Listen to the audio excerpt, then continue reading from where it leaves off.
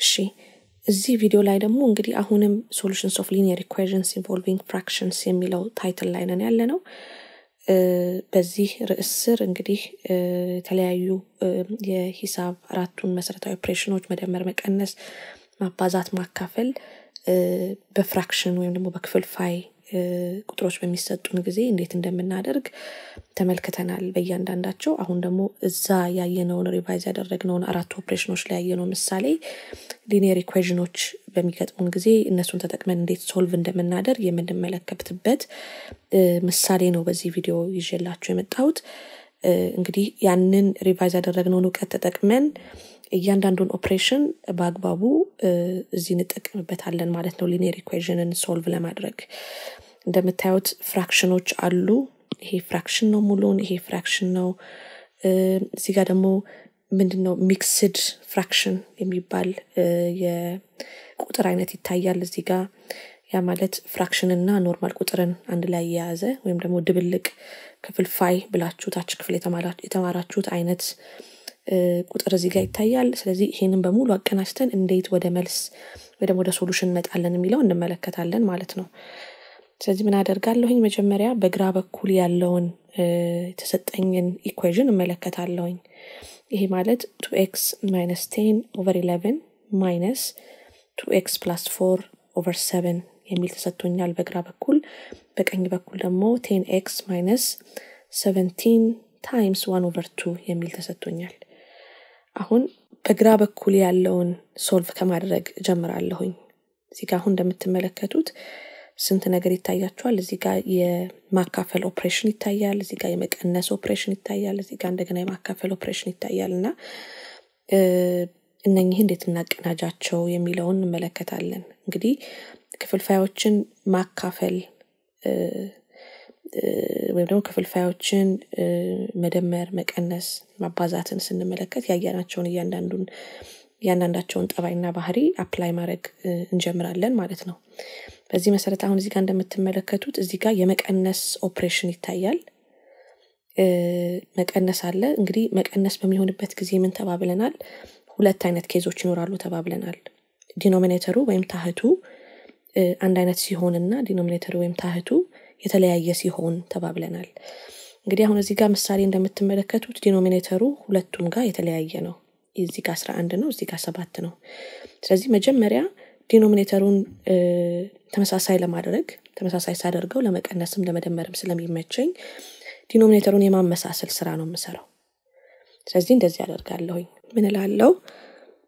two x minus ten over eleven እላለሁኝ ሲባዛ እልና የሁለተኛውን fraction ወይም ደግሞ የሚቀነሰውን ቁጥር ታህት አበዛዋለሁኝ በመጀመሪያው fraction ማለት ነው። seven over seven አድርጌ ማለት ነው። ይሄ ማለት ይሄንን ወሰድኩኝና በዚህኛው ታህት እያበዛሁት ነው። ካስታወሳችሁ በቀድሞ ቪዲዮ ስለ መቀነስ ኦፕሬሽን በክፍልፋይ ጊዜ ስንማር እንደዚህ ነበር ስናደርግ የነበረው። ስለዚህ በዚህ መሰረት ይሄንን አበዛለሁኝ። እሱ ምን ይሰጠኛል? two x times seven fourteen x ይሰጠኛል። ሲቀነስ ስላለሁኝ ሰባት times ten ሰባ ይሰጠኛል። ሲካፈልንና አስራ አንድን በሰባት አበዛለሁኝ። አስራ አንድ ሲባዛ በሰባት ሰባ ሰባት ይሆናል። በተመሳሳይ ሁለተኛውንም እንደዚሁ two x plus four over seven የሚለውንም በመጀመሪያ ላይ በነበረው fraction ታህት አበዛዋለሁኝ። ይሄም ማለት በአስራ አንድ over አስራ አንድ አበዛዋለሁ። ይሄ ማለት ምንድን ያደረግኩት ይሄንን ቁጥር በዚህኛው fraction ታህት ወይም ደግሞ denominator ነው ያበዛሁት ማለት ነው በአስራ አንድ ስለዚህ በዛ መሰረት ምን ይሆናል two x times eleven ሀያ ሁለት x ይሰጠኛል። plus ስላለሁኝ አራት ሲባዛ በአስራ አንድ አርባ አራት ይሰጠኛል። over seven times eleven ሰባ ሰባት ይሰጠኛል። አሁን ይሄንን የበለጠ አቃልዬ ምን ላይ ደርሳለሁኝ ማለት ነው? እዚህ ጋር ሁለቱም አሁን የጋራ ታህታቸው አንድ አይነት ሆኖልኛል። ስለዚህ በቀላሉ መቀነስ የምችልበት ደረጃ ላይ ደርሻለሁ። ስለዚህ ምን አደርጋለሁኝ? እንደዚህ አደርግና ሰባ ሰባትን የጋራ ወስዳለሁ። ስለዚህ የመጀመሪያው ስሰራው እዚህ ጋር የመጣው አለ የ two x minus ten over eleven ዋጋ እዚህ ጋር fourteen x minus seventy over seventy seven ሆኗል። ስለዚህ እሱን ወስዳለሁኝ። አስራ አራት x ላለው minus seventy ላለው ከዛ በኋላ ሲቀነስ ብዬ ወስዳለሁኝ። እሱ ሲቀነስ ማለት ዝች ጋ ያለችው የመቀነስ ኦፕሬሽን ነች። ስለዚህ ከዛ የሁለተኛውን ያሰላሁትን ወስዳለሁኝ። ይሄ ሀያ ሁለት x plus አርባ አራት ይሆናል ማለት ነው። ይህንን ስናቃልለው አስራ አራት x minus seventy minus twenty two x minus forty four ይሆናል።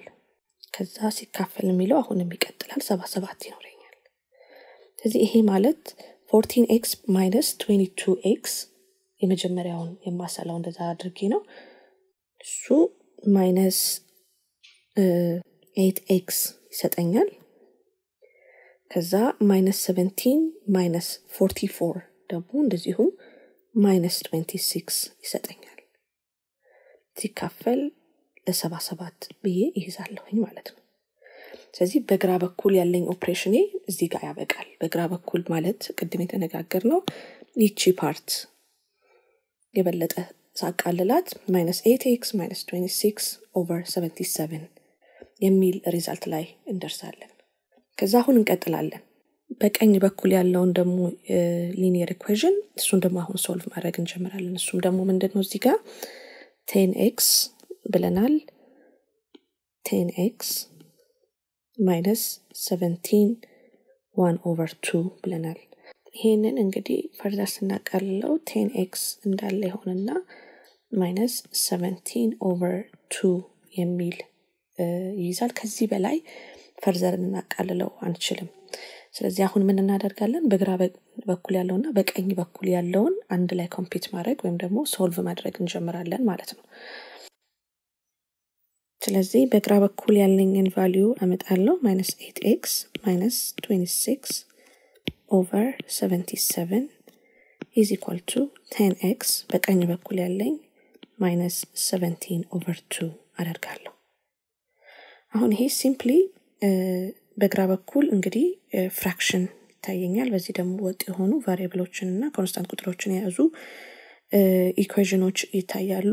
ስለዚህ በዚህ መሰረት simply crisscross ነው የማደርገው። አሁን እዚህ ጋር በግራ በኩል ያለው denominator አለው፣ በቀኝ በኩል ያለው ግን የለውም። ስለዚህ crisscross አደርጋለሁ። ነገር ግን ያ ማለት ምን ማለት ነው? ይሄ በውስጥ ታዋቂነት over one አለው ማለት ነው። ስለዚህ one times minus eight x minus twenty six equal to 77 times 10 x minus 17 over 2 ነው የማደርገው ማለት ነው። ስለዚህ ስሰራው ይሄንን minus 8 x minus 26 is equal to 77 times 10 x minus 17 over 2 ይሆናል። ይሄ ማለት minus 8 x minus 26 is equal to 770 x minus 1309 over 2 ይሰጠኛል። አሁን ይሄንን ከዚህ በኋላ እዚህ ከደረስኩኝ በኋላ constant ቁጥሮችና variable የያዘ አገላለጽ ይታየኛል። ስለዚህ like term ኦቹን እሰበስባለሁኝ። ይህ ማለት minus eight x ከዛ በኋላ በግራ በቀኝ በኩል ያለኝን expression እመለከታለሁኝ። 770 x የሚል አገላለጽ አለ። እሱ ወደ ግራ ሳመጣው positive የነበረው sign negative ይሆናል። so minus 770 x ይኖረኛል። ከዛ is equal to እልና minus 1309 over 2 minus 26 ወደ ቀኝ ስትመጣ plus 26 ትሆናለች። then በዚህ መሰረት ይሄ ምን ይሆናል? minus 778 x ይሆናል። ይሄ ደግሞ further 1309 over 2 plus 26 ሳቃልለው minus 628.5 ይሰጠኛል። ከዚህ በኋላ both sides በ minus 778 አካፍላለሁኝ። that means እንደዚህ ያደርጋለሁኝ ማለት ነው። minus 778 over እዚህም minus 778 አደርጋለሁኝ። ይሄ በዚህ ይጠፋል። ስለዚህ finally የ x ዋጋ minus 628.5 over minus 778 ይሆናል። negative በ negative ይጠፋል እዚህ ጋር so positive ይሆናል የ x result x is equal to ምን ይሆነኛል? calculate አድርጌ መጨረሻ ላይ የማገኘው value positive 0.8078 ይሆናል አሁን ላይ ያገኘነው የተሰጠን linear equation ውስጥ የ x ዋጋ ይሄ ነው ብለን ብንከት በግራና በቀኝ ያለው equation እኩል ሆኖ ማግኘት ይኖርብናል። ምክንያቱም የ x ዋጋ ይሄ ነው ብለን በስሌታችን መሰረት አግኝተናል። ይሄንን እንዴት እናረጋግጥ? እንዴት check እናደርግ? የ x ዋጋ በትክክል ይሄ መሆኑን እንዴት check እናደርግ የሚለውን ደግሞ አሁን እንመለከታለን። ስለዚህ መጀመሪያ የተሰጠን equation እዚህ ጋር እንደምንመለከተው two x minus ten over eleven minus two x plus four over seven is equal to ten x minus seventeen over two ነው። ስለዚህ አሁን እዚህ equation ውስጥ x ያለበት ቦታ በሙሉ 0.8078ን እየተካን calculate እናደርግና በግራና በቀኝ ያለው equation አንድ አይነት መሆኑን check እናደርጋለን ማለት ነው። በዚህም መሰረት እንግዲህ እንደምትመለከቱት x ባለበት ቦታ በሙሉ equation ውስጥ የ x ን value which is 0.8078ን ከትቻለሁኝ። በዚህ መሰረት calculate እናደርጋለን ማለት ነው። ስለዚህ አሁን ይህንን ሁለት mean ሁለት two times 0.8078 ሳደርግ የሚሰጠኝ መልስ one point six one five six ይሆናል። ከዛ minus ten እላለሁኝ over eleven ከዛ minus አሁንም እንደዚሁ two times eight 0.8078 እንደዚሁ 1.6 156 ይሰጠኛል። plus four እላለሁ over 7 ይሄኛው ደግሞ ten times 0.8078 8.078 ይሰጠኛል። 17 over 2 ማለት 8.5 ማለት ነው። አሁን በዚህ መሰረት ይሄኛው ምን ይሆናል? 1.6156 minus 10 over 11 የሚሰጠኝ ቁጥር compute ሳደርገው መጨረሻ ላይ negative 0.7623 የሚል ይሆናል።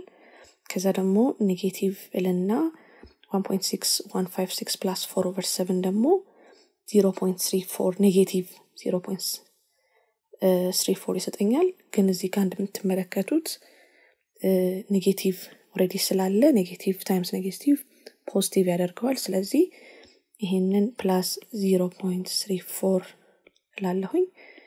በመጨረሻ በቀኝ በኩል ያለው 8.078 minus 8.5 ደግሞ ምን ይሰጠኛል? negative 0.4223 የሚል value ይሰጠኛል። አሁን ይሄንን ሁለቱን compute ሳደርግ 0.76 negative 0.7623 plus 0.34ን calculate ሳደርግ የማገኘው ቁጥር ምን ይሆናል? negative 0.4223 ይሆናል። ይሄ ማለት እንግዲህ እዚህ ጋር compute ካደረግነው ጋራ አንድ አይነት ይሆናል ማለት ነው።